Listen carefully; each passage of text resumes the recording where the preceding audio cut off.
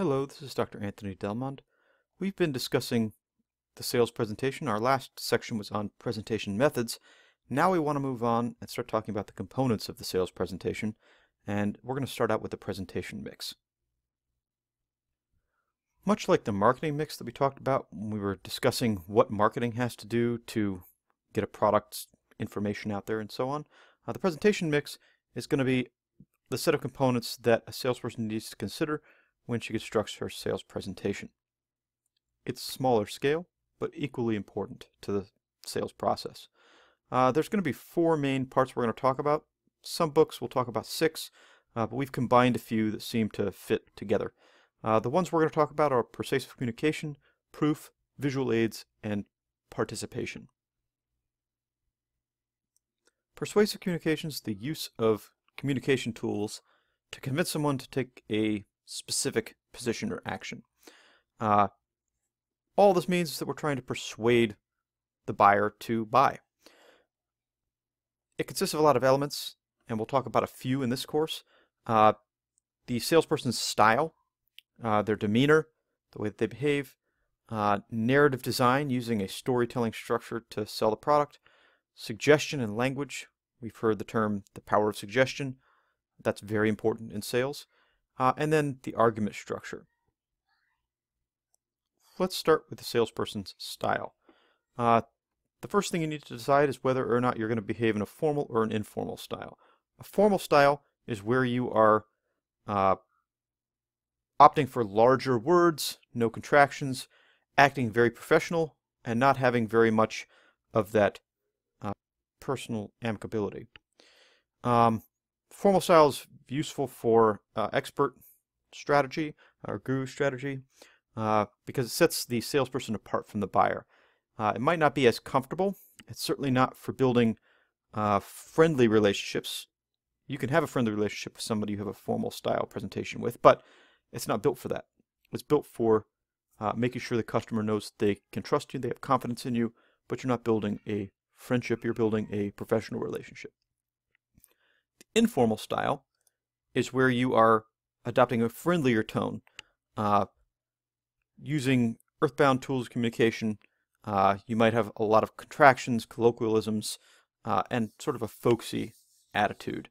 Uh, you don't have to have all of these, but you're not putting on airs. You're not seeming to be uh, separate. You are at the same level, on the level of the, of the buyer, uh, and so you can form that friendly relationship. Uh, I included something interesting here for just terms, things you would word, words you would use uh, if you're using a formal versus an informal style.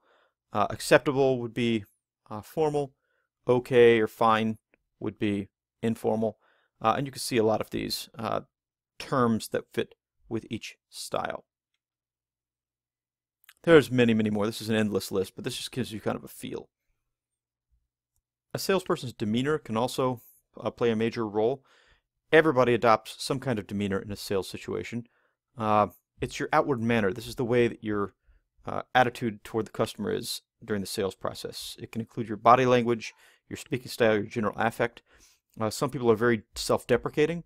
They make jokes to uh, make it seem like they don't believe in themselves. Some people adopt that. Some people are jolly naturally. Uh, some people are reserved or cranky naturally. But it's really important for salespeople to uh, carefully build and monitor their demeanor uh, and adapt to the situation. You, if you were a naturally jolly person, great. Uh, if you can use that and present a happy front to your client, uh, present yourself as being a happy person, great. If you're naturally cranky or naturally quiet, you might want to adopt a different demeanor for your sales persona. Uh, so if you are uh, very introverted, very nervous talking to people, uh, and don't enjoy that interaction, you might need to, to work really hard develop it, developing a demeanor that is more comfortable uh, for those types of interactions. I suppose what I'm trying to say here is that you don't have to just use your natural demeanor. A lot of salespeople will adopt something that is not their natural demeanor uh, for their sales career. Something else that's part of persuasive communication is narrative structure. Uh, storytelling can be very persuasive. Uh, if you're telling a good story, people are going to follow along. Uh, there's a lot of uh, research that's gone in shown that uh, people are much more engaged when you're telling a story. It's easy to walk through those AIDCA steps uh, if you can get somebody uh, engaged in the narrative. Uh, you can also have a good impact on product marketing. So telling a story is very, very useful in the sales uh, world. For suggestion, uh, suggestion is where you're putting an idea into your customers' heads without them really realizing that you've done it. Uh, there's a couple different types of subtle suggestion. Uh, suggestive selling is where you're uh, arranging products or discussion to convince somebody to buy a product. It could be visual. Uh, you could put really top of the line products of yours up against some of the lower end versions of uh, your competitors' products in an image for someone, and it makes your products look very nice, even though you're not showing a direct connection. Uh, or it could be verbal. You could uh, spend a lot of time talking about how great your products are or teaching people about certain aspects that they might not know about that would convince them to buy. Some examples of uh, suggestive selling. Uh, placing the highest quality products, like I said, uh, on the showroom floor would compel a buyer to spend more than they would initially would want to spend. Uh, you never go to a car dealership and find the worst models. You find the top of the line models because people will find things about that that they like and maybe pay a little more than they would expect to have paid. Uh, upselling, uh, you know, for the for the uh, hamburger uh, example here, uh, if you ask somebody if they'd like to supersize their thing, maybe they hadn't thought about that, and they jump it up, and you're able to sell them a little bit more. Uh, cross-selling is when you attempt to sell a product that's related to the product they want to buy, uh, and you already had them ready to purchase something. You're just throwing something in on top of it. so somebody's planning to buy a burger, and you suggest, do they want fries? and then they buy it because it's something that goes with that burger. They've associated them together. There's a handful more types of suggestion, but we'll just talk about a couple more. Direct suggestion is when you're explicitly suggesting a path for your customer. Uh, you're telling them, hey, I, I think maybe you want to buy this. I think maybe you want to try this. Um, it's very direct, but they might not realize that it's a selling technique. Uh, psychological suggestion is a, is, is a little more complex. There's a lot of different ways to do this.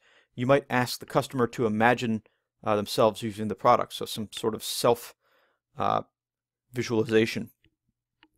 You could ask them to imagine somebody else using the product, uh, maybe somebody that they know and respect, uh, a professor, uh, a major person in the news, somebody that they respect in the public space.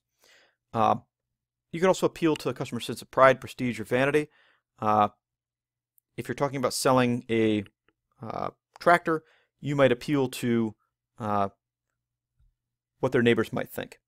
Uh, if you get a John Deere, that's quite clearly saying something about you, whereas if you get a Kubota, that's saying something uh, about you also, or Case IH. Everyone has some connotation. Uh, so you want to get what your neighbors are getting. Maybe that's the highest end model. The last piece of persuasive communication we want to talk about is logical structure. Uh, logical reasoning involves the formation of rational arguments that when you take them together, they lead the customer toward a conclusion that you want them to reach. So an example, uh, you might have uh, a few premises. So th these three premises, uh, your yard grows uh, a lot of grass, you have no lawnmower, and riding lawnmowers uh, cut lots of grass quickly. What's the conclusion you want them to come to? Well, obviously, if they have a lot of grass, they have no lawnmower, and riding lawnmowers are a way to fix that problem, they should buy a, light, a riding lawnmower. This is very clear. Uh, it's three steps to a prescribed conclusion. Um, another way to do it is with an if-then statement, uh, where you have an antecedent, the if part, and the consequent, which is the then part. Uh, if you buy a riding lawnmower, then you will be able to mow your lawn. why did I word it that way and not uh, if you want to mow your lawn, then you could buy your a riding lawnmower? Well, uh, that gives them a choice. In this construction, the salesperson assumes they've made the purchase and then they get the reward, a mowed lawn. If you were to word it the other way and ask them if they want to mow their lawn, they could come up with a bunch of other reasons or a bunch of other ways to get their lawn mowed. Uh, so you're assuming right up front that they're going to follow this path. Uh, if you worded it the other way, for example, if you want to mow your lawn, uh, you could buy a riding lawnmower, buy a push lawnmower, hire a lawn care service. Uh, if you don't want a lawn to mow, you could uh, even just switch out grass for uh, rocks or clover. So you don't want to give them a choice, so you construct it a certain way. Again, uh, persuasive communication, right? All right, I think that's a good place to stop, and we will come back and talk about uh, proof statements and visual aids in the next section.